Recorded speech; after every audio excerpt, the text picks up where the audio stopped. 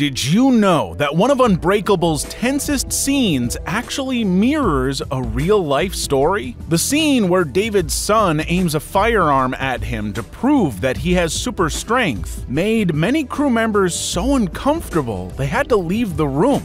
But remarkably, this actually happened to 1950s Superman actor George Reeves. When a child pointed a gun at him to test the Man of Steel's invincibility, Reeves had to disarm the child by convincing him the bullets might bounce off his chest and kill innocent bystanders.